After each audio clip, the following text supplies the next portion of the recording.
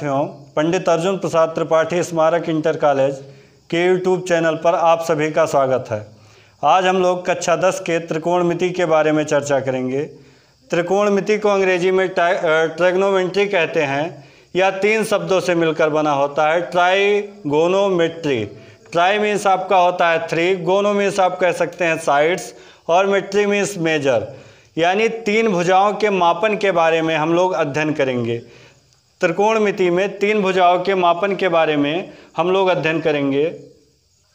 अब तीन भुजाओं से घिरी हुई आकृति हमेशा त्रिभुज ही होती है तो हम लोग सब इसमें राइट एंगल ट्रैंगल के बारे में अध्ययन करेंगे। राइट एंगल ट्रैंगल में होता क्या है? कि वह ट्रायंगल जिसकी एक भुजा राइट हो मीन्स समकोण हो, वो आपकी राइट एंगल ट्रायंगल कहलाती है। तो हमने एक ऐसा ट्रायंगल लिया जो राइट एंगल है, यानी इसकी एक भुजा समकोण है, नब्बे अंश की है। तो हम मान लें कि जो भी आपकी समकोण भुजा होती है, समकोण भुजा के सम्मुख जो शीर्ष होता है, वो हमेशा आपका कर्ण कहलाता है।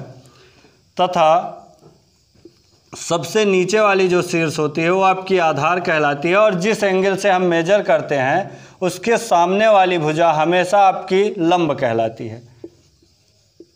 अब इसी को मान लें अगर हम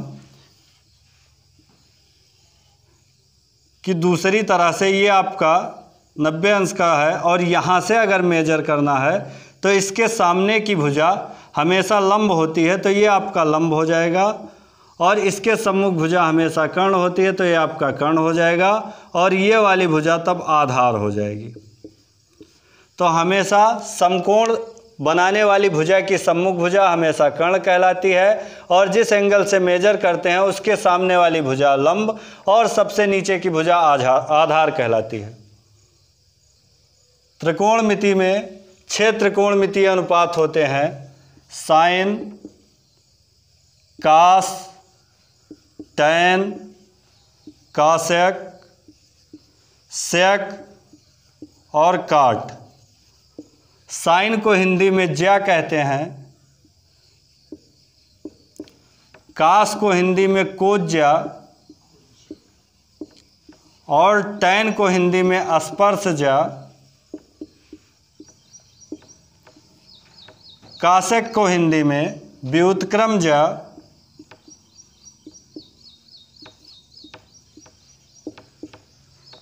सेक को हिंदी में व्युतक्रम कोज्या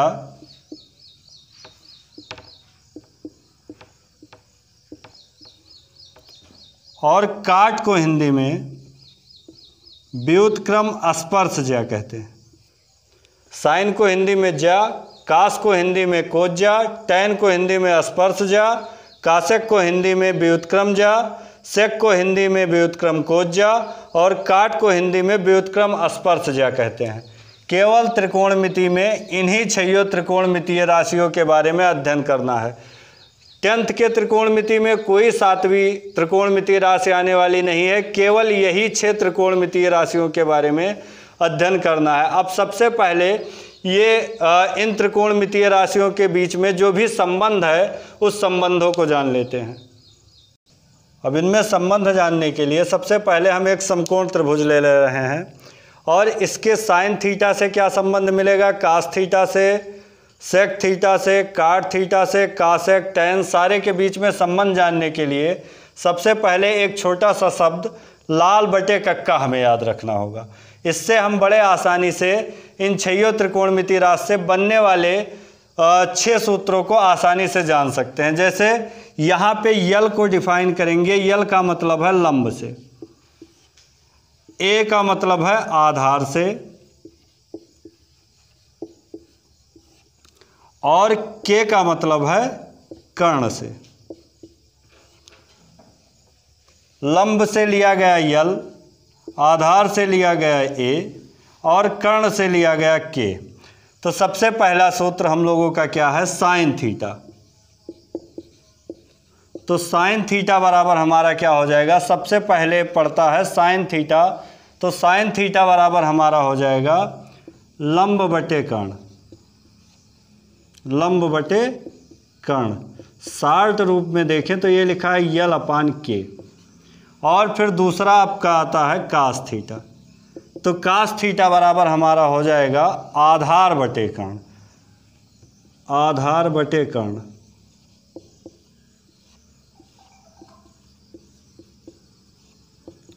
यानी ए अपान के फिर तीसरा हम लोगों का क्या है? टैन थीटा तो टैन थीटा बराबर हमारा हो जाएगा लंब बटे आधार।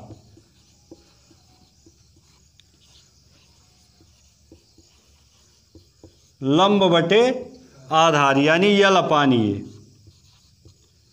अब फिर अगले अगली त्रिकोणमितीय राशि हम लोगों की हो जाएगी काशक थीटा। तो काशक थीटा बराबर, अब इसको आप पलट के लिखेंगे, जैसे साइन थीटा का हिंदी होती है ज्या, और काशक थीटा की हिंदी होती है व्युतक्रम ज्या। व्युतक्रम मीन्स उल्टा, ज्या का उल्टा तो ज्या का उल्टा व्युतक्रम कर लें तो ये हमारा हो जाएगा कर्णपान। कर्ण बटे लंब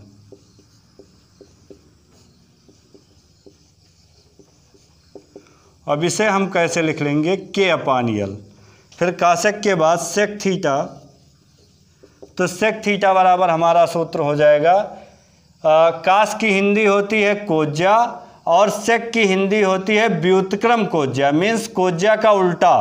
तो इसका उल्टा हमारा क्या हो जाएगा? के अपान ये यानी कर्ण बटे आधार।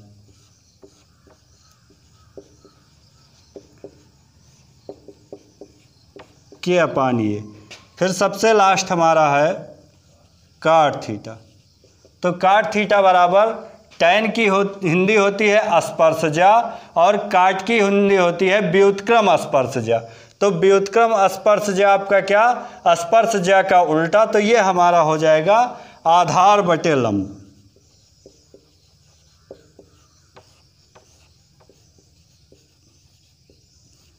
आधार बटे लंब यानी ए अपान यल। अब इसमें थोड़ा सावधानी ये रखना है कि जब भी आप याद करेंगे इस सूत्र को तो इस सूत्र में ये आप सबसे पहले छो त्रिकोणमितीय राशियों को रिस्पेक्टिवली इस तरह से याद करेंगे कि sine theta cos theta tan theta cosec theta sec theta cot theta अगर इनका क्रम आपने उलट दिया, तब ये सूत्र जब आप लगाएँगे तो गलत हो जाएगा। तो साइन के बाद कास कास के बाद टेन टेन के बाद कासेक कासेक के बाद सेक सेक के बाद काट साइन थीटा बराबर लंब बटे कर्ण कास थीटा बराबर आधार बटे कर्ण टेन थीटा बराबर लंब बटे आधार कासेक थीटा बराबर कर्ण बटे लंब सेक थीटा बराबर कर्ण बटे आधार, और काट थीटा बराबर आधार बटे लंब. उन्हीं सूत्रों पर आधारित पहला सवाल हम लोग देखेंगे। ये साइन थीटा बराबर चार बटे पाँच हो तो शेष त्रिकोण मितीय अनुपात ज्ञात कीजिए।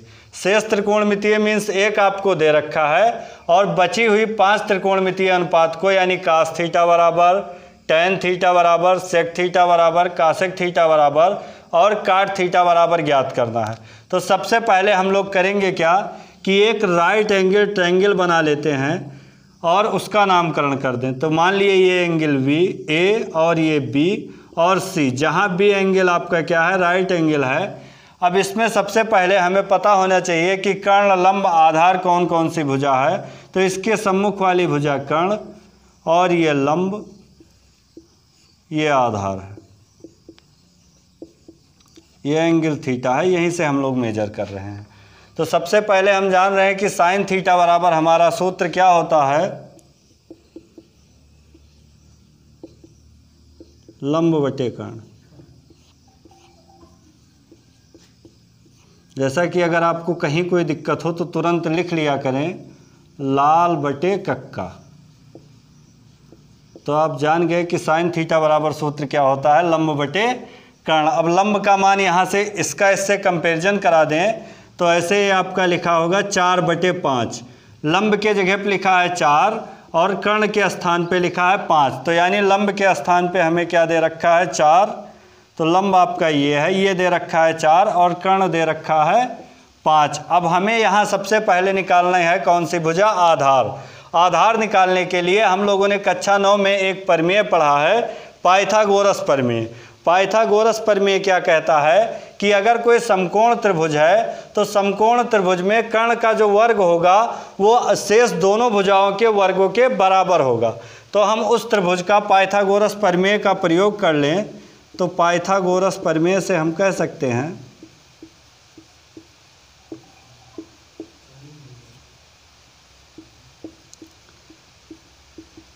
कर्ण का स्क्वायर बराबर, लंब का स्क्वायर और धन आधार का स्क्वायर। लंब हम लोगों का कितना है? लंब दे रखा है चार। और आधार हम लोगों को निकालना है। और कर्ण का मान दे रखा है कितना? पाँच। तो हम लोग जानते हैं कि अगर इसे इस तरफ़ लाएँगे, थोड़ा ट्रांसफ़र करेंगे तो जो यहाँ पॉजिटिव है वो निगेटिव में हो जाएगा, चाहे इसे इस तरफ़ ले आएँ। तो आधार का स्क्वायर बराबर हमारा क्या हो जाएगा? पाँच का स्क्वायर माइनस चार का स्क्वायर पाँच का स्क्वायर आपका हो जाएगा पच्चीस और चार का स्क्वायर हो जाएगा सोलह। पच्चीस से सोलह घटेगा तो नौ हो जाएगा। आधार का स्क्वायर बराबर नौ मिल गया। यानी आधार बराबर हमारा हो जाएगा। ये स्क्वायर इधर आएगा तो स्क्वायर रूट हो जाएगा, यानी नौ का वर्गमूल। और नौ का वर्गमूल आपका कितना हो जाएगा? प्लस माइनस तीन या कह लीजिए केवल तीन। तो आधार बराबर हमें मिल गया तीन। के मान मिल गए हैं। लंब बराबर चार, कर्ण बराबर पाँच। आधार हमें नहीं दिया था। पाइथागोरस परमेय लगा के आधार का मान निकाल लिया, आधार बराबर मिल गया तीन। अब हम लगा दें सूत्र तो हमें निकालना क्या है? कास थीटा का मान। हमें फिर निकालना है टेन थीटा का मान। तो कास थीटा बराबर हम सूत्र जान रहे हैं, आधार बटे कर्ण। आधार का मान दे रखा है तीन, और कर्ण का मान दे रखा है पाँच। तो कास थीटा बराबर मिल गया तीन बटे पाँच। टेन थीटा बराबर हम सूत्र जान रहे हैं, लंब बटे आधार। तो लंब का मान यहाँ पे दे रखा है कितना? लंब हमारा दे रखा है चार। और फिर आपको आधार का मान दे रखा है तीन तो चार बटे तीन। फिर इसके बाद आता है कासेक थीटा। तो काशक थीटा बराबर हम जान रहे हैं, होता है क्या है? कर्ण बटे लंब। तो कर्ण का मान दे रखा है हमारा कितना? पाँच। यानी ये हमारा हो जाएगा पाँच बटे चार।